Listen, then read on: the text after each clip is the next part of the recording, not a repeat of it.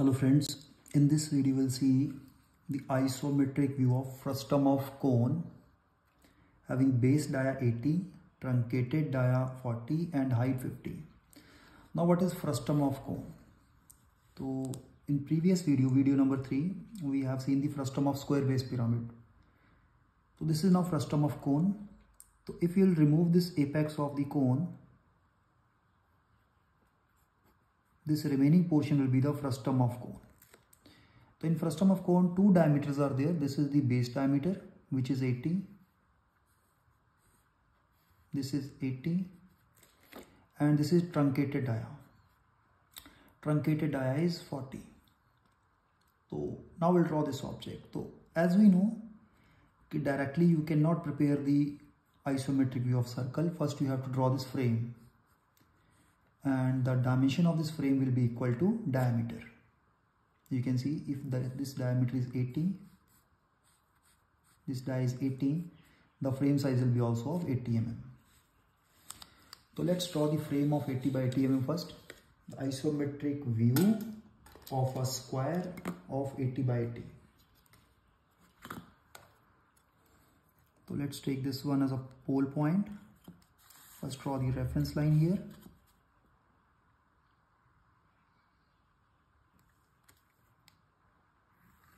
It should be a continuous thin line.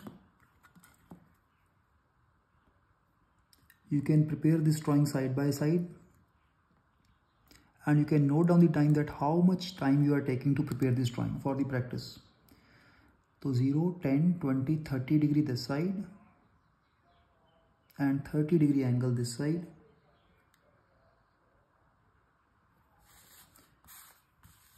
So first we make a isometric view of a square of 80 by t.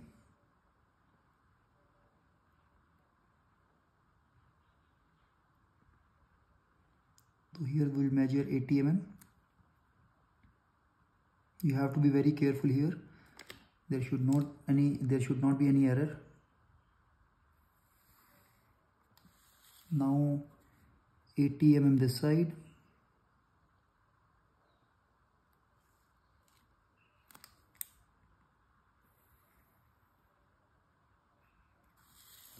now let's copy this dimension 80 mm to complete this frame of 80 by 80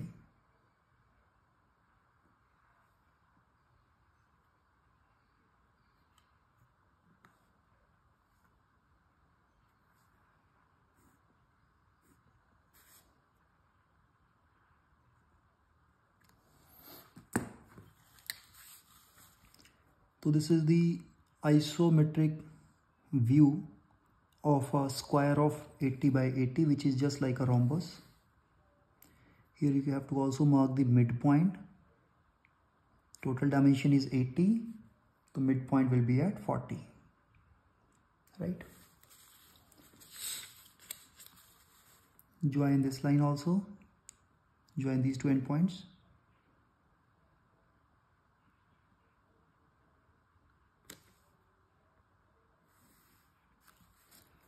now let's copy this 40 mm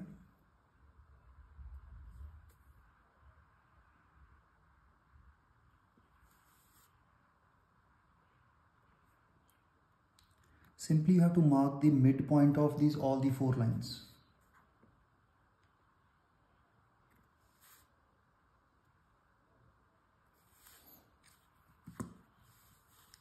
Right?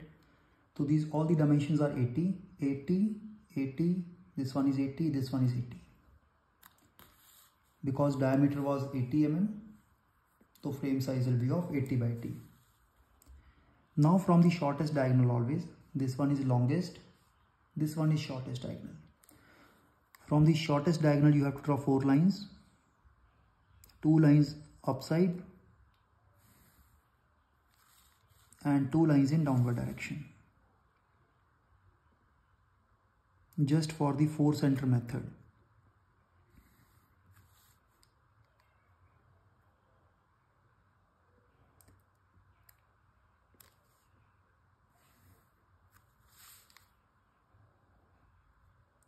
Almost the procedure will be same as the isometric view of a cone and isometric view of a cylinder the video has been already uploaded so now with the help of four center method we will draw the base of this frustum which will be an isometric view of a circle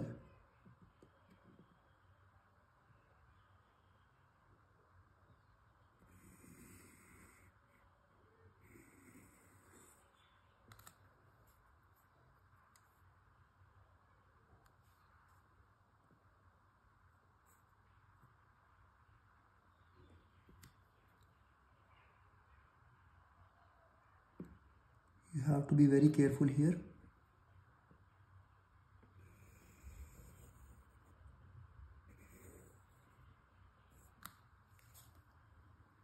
Now from this point this intersection draw the third arc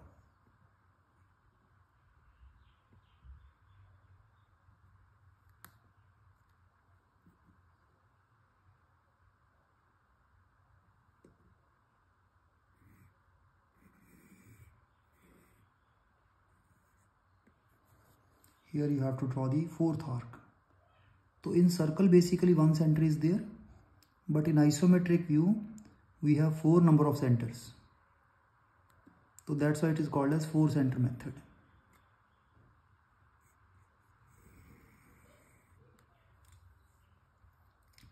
So minor error is there. So you have to take care for this. So this is the base of this frustum of cone base of diet is ready now. Now the second step is to create the height of the object. So height is given as 50. So from these all the four vertices of the frame, let's take the height of 50 mm.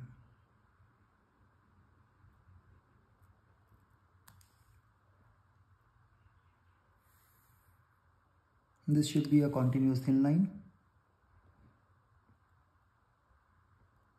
You have to keep patience to draw this object.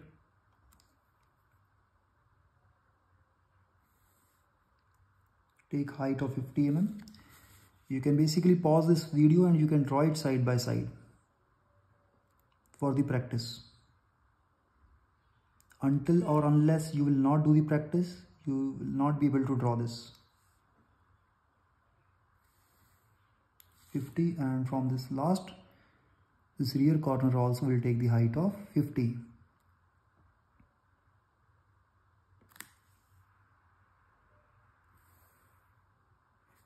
So now just like a construction of a building, these are the four columns of the building. So this is, these are the four heights. So let's join this. Let's join the endpoints.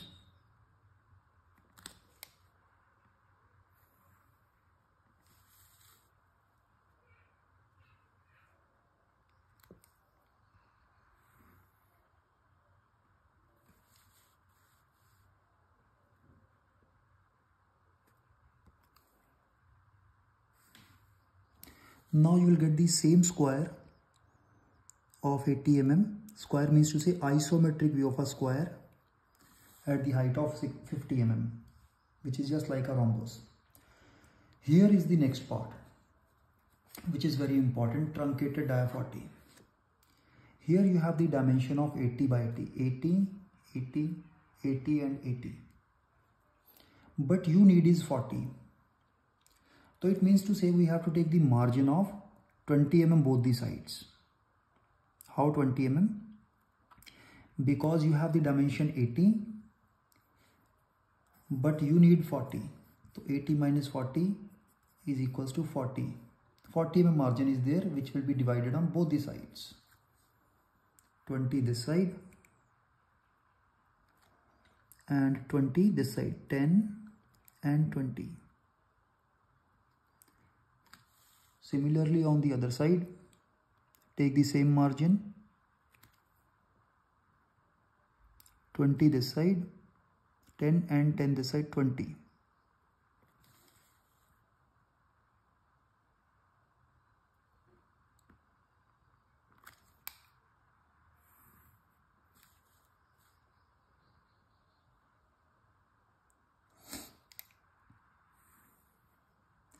Please mark the points on both the sides so that you can make a parallel line. If you will not take the point here from only with reference this line may be not parallel to this one. So take the points on both the sides. Now this is 40 and 80 follow the same procedure on this side.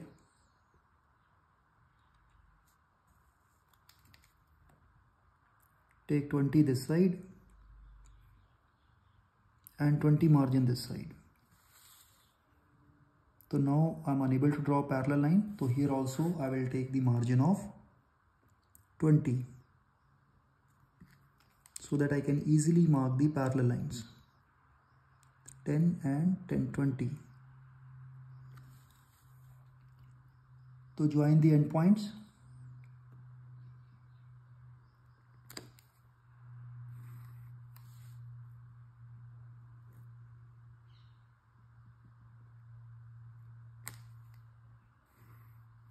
now you can see.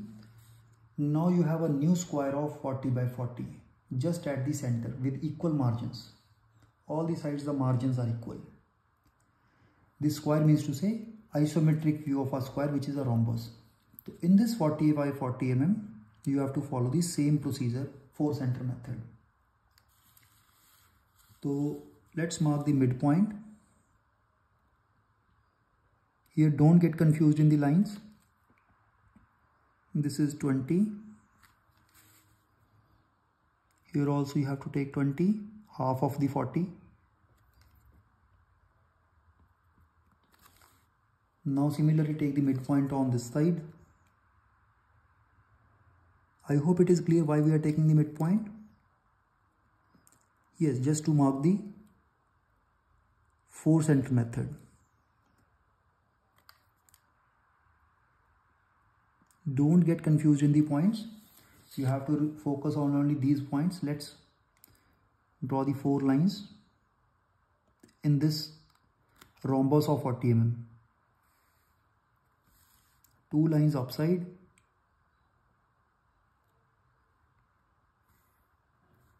And two lines in downward direction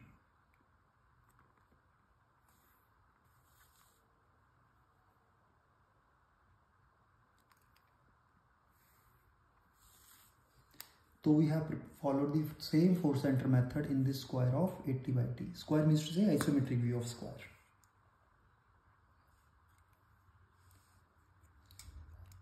So let's draw the arcs now. This will be the first arc.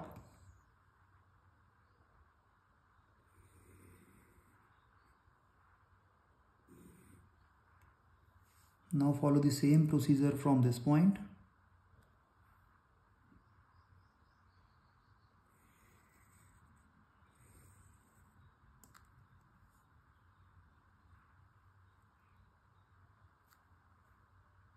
Now we will follow the third arc from this point.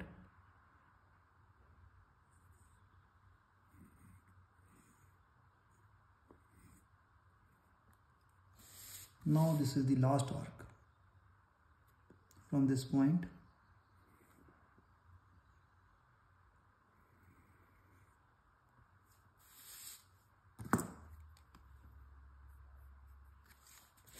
Now this is the diameter 40 right? Uh, so this is the isometric view of a circle. Now you have to draw the tangent. This step is very important.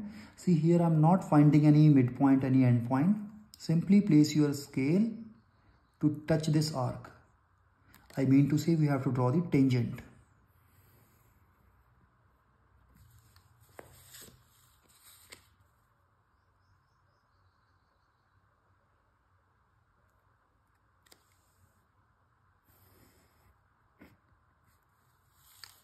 Now this is the frustum of right circular cone. So we in isometric views we are not showing the hidden edges. It is not preferred to show the hidden edges in isometric view. So we can just convert this line into a thin line.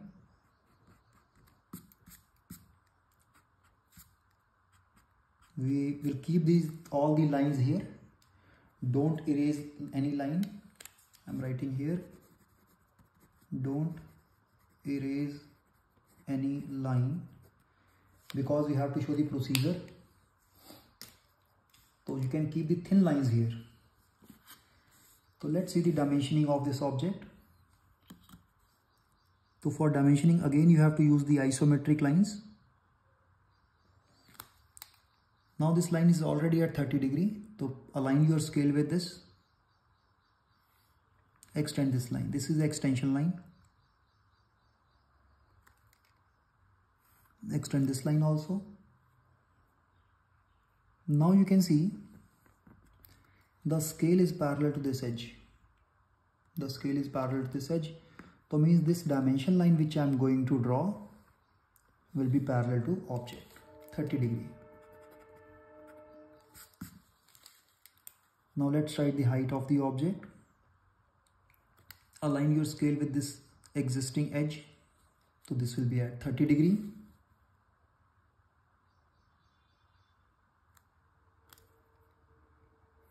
this is 30 degree. And height will be always vertical line.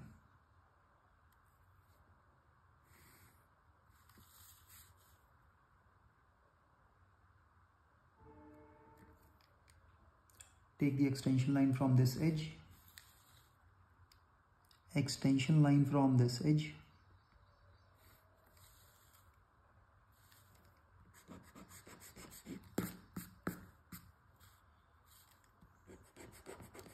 now the scale should be parallel to this base edge. You can see the scale is parallel to this edge.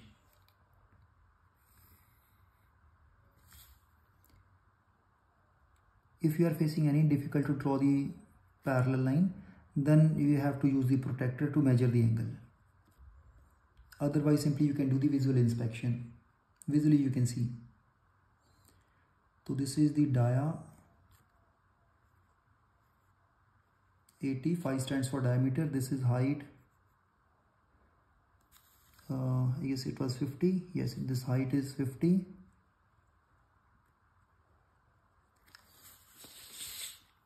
and this dia is 40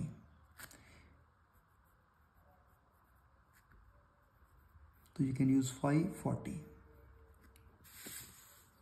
so this is the isometric view of frustum of cone. In case if you have any doubt or any question please post your comment and subscribe to the channel please. Thank you so much